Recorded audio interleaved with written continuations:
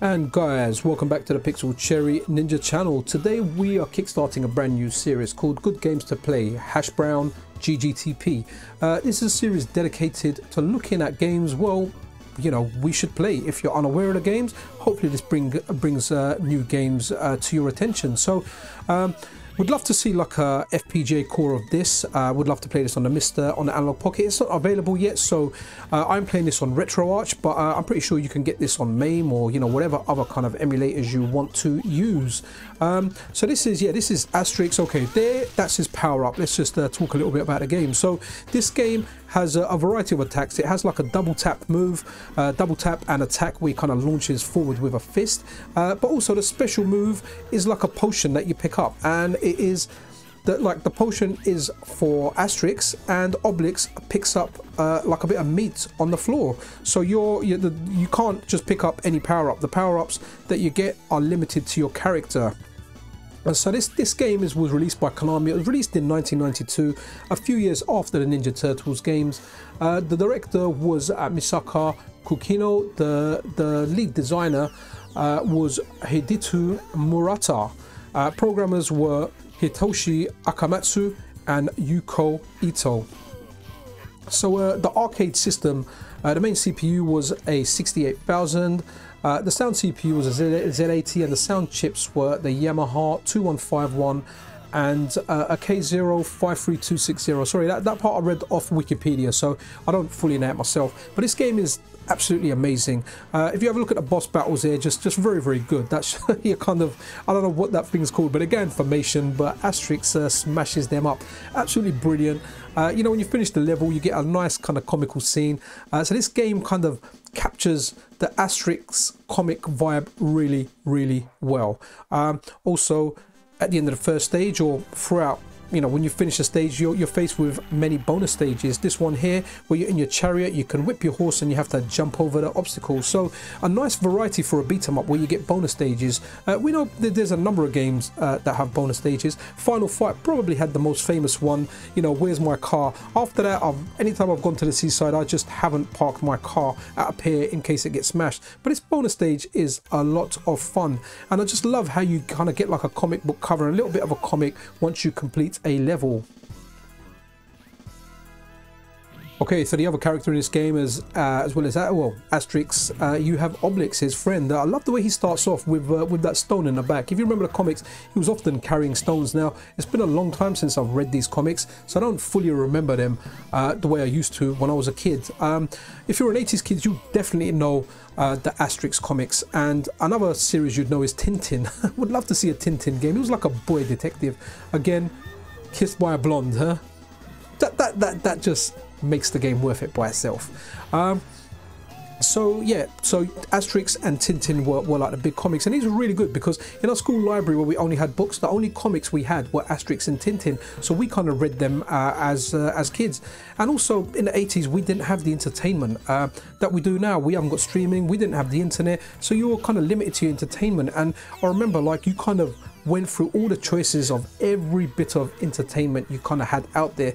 Uh, even even you know reading these comics books, it, it was a great thing. They were really really really really well written books uh, good comics and this game is very very true to it. Just the way he walks with his kind of hands behind his back the way you kind of attack the romans and uh, you know once you attack them the way they, the way they kind of crawl off it's just very very comical very very um, very very true to the comic. Uh, the special moves in here yeah the game doesn't have like a two button special uh, you know which you're kind of used to in a lot of beat 'em ups especially the capcom ones. Uh, but you've got power ups you've got power ups that you pick up and those power ups are um, what kind of give you your attacks. So the levels kind of vary. Uh, as you can see this level here, we've got like Indiana Jones kind of balls uh, chasing you. Not as big, but you got loads of those little boulders. When you get hit by them, again, it's very comical. You kind of get smashed by them. But hey, you can, you know, jump over them uh, quite easily. It's not too difficult. It's not like, like a big cheating part that you get in the arcades. It is very, very doable, you know. Um, and uh, yeah, so there's other aspects as well. Let's have a look at some of those. Okay, so some of the other aspects you've got here, you've got like uh, I love the animation when they get squashed. Uh, but you've got these kind of platformy bits, which, be honest, you haven't really seen um, platformy bits in beat 'em ups. Uh, let me know in the comments if there's other games uh, that kind of do have platformy bits uh, in beat 'em ups, especially arcade games. There may have been some console ones like that. Um, but yeah, none are coming to mind anyway. It's not to say that there aren't any. I've, I've, got a bad memory. I forget a lot of stuff. So yeah, it's got it's got a platformy base that kind of gives it another kind of unique feature. So but this game's got a nice kind of beat 'em up part. It's got the bonus stages, um, and uh, it's got like your your your kind of normal beat 'em up. So uh, we've got those little um, tiles on the floor that look suspect. And when you walk over them, uh, what was that into? Oh, who turned down the lights? Um, so you've got, you know, that was in a Konami game, so that, that kind of follows suit. And uh, here you go, just keep falling down there. Probably going to crack the third one too. But uh, yeah, it definitely, definitely adds a, a, unique touch to the game and uh, a little bit of floor you definitely want to dodge. As you can see, the enemies are very, very light. They're immune to it. They don't fall into it, uh, but uh, you know, you do. Okay, as you can see, uh, there's an Asterix uh, power up on the floor there, which is a potion. Obelix cannot pick that up. Obelix can only pick his up when up, which he does, and uh, it just kind of makes you just really, really fast and attacking. Uh, to be honest, I find it quite hard uh, to control, but that's the that's the power ups for this game. Okay, I love that spinny spinny attack. It looks really good. But you've got Asterix power up there, which again makes him run really, really fast. Kind of like a waste there just with one enemy, but it lasts very, very short. I, I kind of feel like something better could have been done for the power up. I just feel like as often as you kind of get them and the kind of use you get for them, it's just kind of very, very limited. Uh, I should just really watch like a, you know, like a top gameplay, um, top gameplay footage of this game. I'm sure it's utilized better than, than I do. Uh, going back to like to the kind of design of the game, it's got some really interesting parts. So this is still kind of like platformy. We kind of jump from ship to ship, uh, and uh, you've got shark infested waters that you're going through. Definitely like unique uh, for a beat 'em up. Um, yeah, very very good. Uh, really really enjoyed it, and I think it just looks you know absolutely fantastic. Okay, another bonus stage uh, in this game.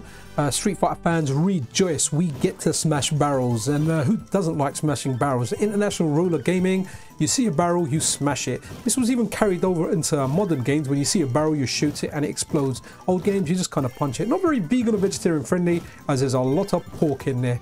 Uh, but yeah, man, like, still interesting. A nice bonus stage, uh, a nice little touch to the game. Uh, some would say even perfect. Okay, so uh, another of the game where you're kind of descending up a mountain via these cliffs uh, makes the game, yeah, again, very, very interesting. You've got kind of got like not not really too difficult, and when the when you when you go near the when you go near that nest, those kind of birds come diving in for you. Uh, but again, like just just absolutely love it. Kind of uh, very very true to the comic, the way it kind of sounds, and uh, yeah, just the way uh, yeah the way it plays, just just really really nice. Uh, another set piece to enjoy is uh, this over here. It's not quite a bonus stage, but uh, yeah, man, like you you go you go you go down these casts and uh, you kind of got to jump into the right one. Clearly, I don't.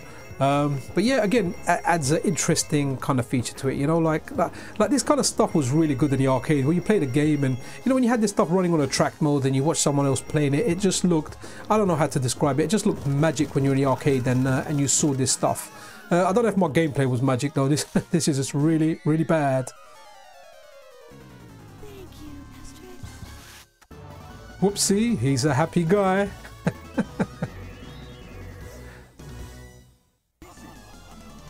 Okay, having a look at some of the bosses in this, just just really really nicely done. Here you've got like an Egyptian guy who kind of shoots you with a laser beam that turns you into a pig and he's kind of like striking you with lightning. Bosses in this game are really, really good.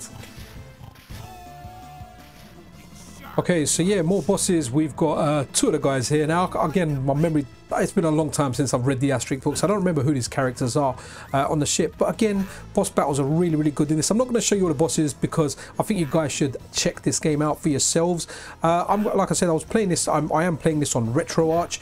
Uh, it'll be available on MAME as well. And uh, I really hope that one day it does make it over to like the MiSTer and the Analogue Pocket because you know I'm, I'm loving how many games I've got for the FP uh, for the MiSTer and uh, the Analogue Pocket and you know FPGA gaming in general and what's around. If if I wasn't to get any more games for it, I would still be happy with the content that I've got. But you know what? It's always nice getting new cores, getting new stuff out there. Uh, but for now, enjoy this game, play it, test it out, and uh, hopefully, uh, you know, the future will bring us more implementations of this. Okay guys, that kind of uh, wraps it up for this episode of Good Games to Play.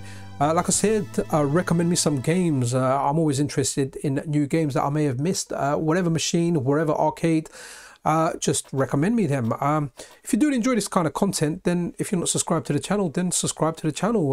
that's the best way you can support it.